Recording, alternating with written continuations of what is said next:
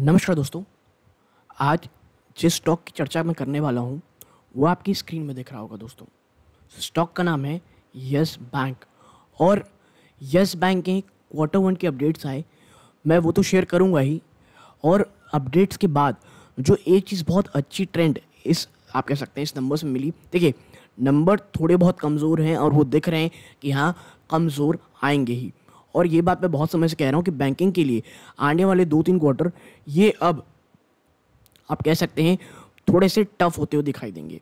चाहे वो net interest net interest margin को लेकर के हो या ओवरऑल बिज़नेस में हो। लेकिन जो ट्रेंड कही है, और ट्रेंड कही है दोस्तों किन्होंने, जो एमडी जो प्रशांत कुमार जी हैं, जो बैंक के एमडी हैं, उन्होंने जो बात कही है, वो मुझे बहुत अच्छी लगी है। और अगर ये ट्रेंड आने वाले समय जारी रहता है तो एक बहुत पॉजिटिव चीज़ दिखेगी जो मैं आपको थोड़ी देर में बताऊँगा। तो मुझे ये लगता है, अगर यस बैंक में आप निवेश की सोच रहे हैं तो एक एक क्विक वीडियो आपको ज़रूर ज़रूर देखना चाहिए, ठीक है? तो देखिए, Yes Bank Limited last trading session में आप देखिए, कल के सेशन में लगभग दो प्रतिशत के आसपास की गिरावट हुई है, ठीक है?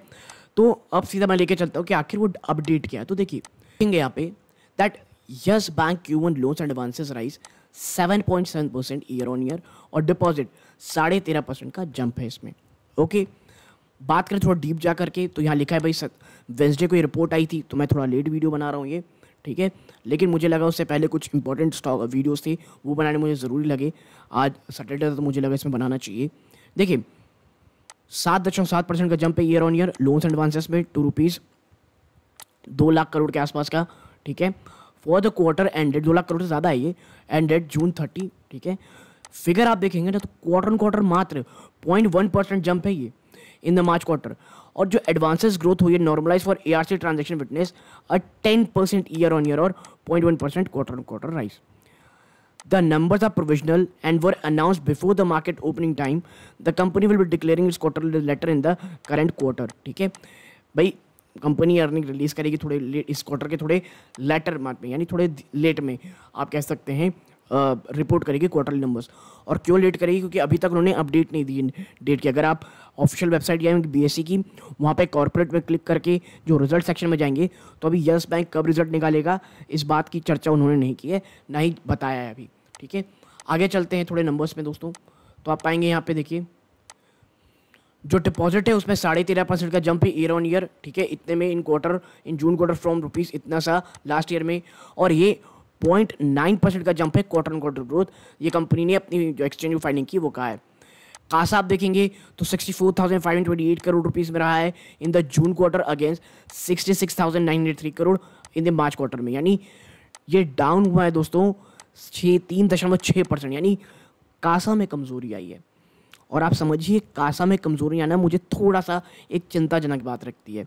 हाँ ईयर ऑन ईयर देखेंगे, आठ दशमलव चार परसेंट की जंप है, जो कि मैं कहूँगा ठीक है बट क्वार्टर ऑन क्वार्टर थोड़ा सा आप कमज़ोरी। और देखिए, मैं यही कह रहा हूँ बैंक सब थोड़े थके हुए दिखाई दे रहे हैं। इसीलिए आने वाले दो से तीन क्वार्टर काफ़ी इंपॉर्टेंट रहेंगे और मॉनसून एक बहुत बहुत बड़ा एक रोल प्ले करने वाला है पूरे के पूरे बाज़ार के लिए। सिर्फ़ बैंक की बात नहीं कर रहा, पूरे के पूरे बाज़ार के लिए। ठीक है? आप यहाँ पाएँगे कि क्रेडिट टू डिपॉजिट रेशियो ना 91.3 परसेंट रहा है जून क्वार्टर का कंपेयर्ड विथ 96.4 परसेंट एक साल पहले। और एंड 92 परसेंट मार्च 2023 हाँ क्वार्टर ऑन क्वार्टर देखेंगे तो यहाँ पे गिरावट है। आप कह सकते हैं इन चीज़ों में।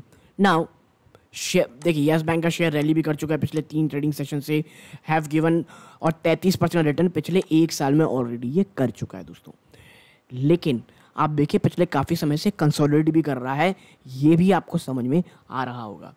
लेकिन ये वीडियो ना मेरे को सबसे आप कह सकते हैं ये वीडियो जो मैंने बनाया वो सिर्फ़ तीन लाइन के लिए वीडियो था ठीक है?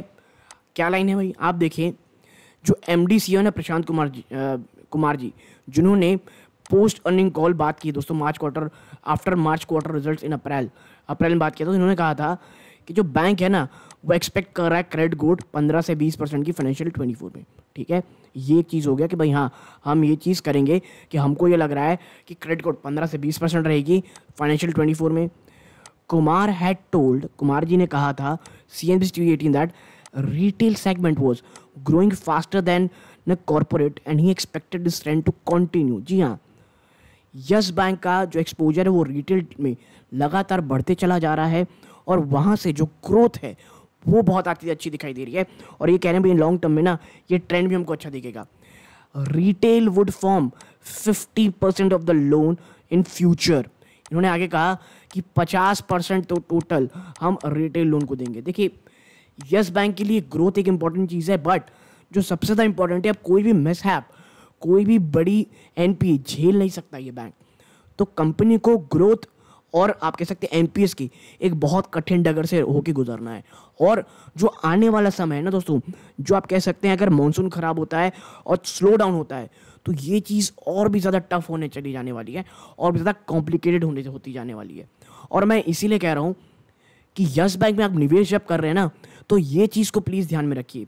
एक बड़ी पिक्चर को कि प्रॉब्लम अभी क्या है यस बैंक की? यस बैंक नो डाउट बहुत अच्छा कर रहा है। प्रशांत कुमार जी ने, मैं कहूँगा, कई हद तक, कई कई जगह पर मेरेकल करके दिखाया बट अभी भी चीज़ें शांत नहीं हुई दोस्तों। प्रॉब्लम है। वो निवेशक जो एक, आप कह सकते हैं रिस्की इन्वेस्टर हैं, वही प्लीज़ यस बैंक में निवेश करें।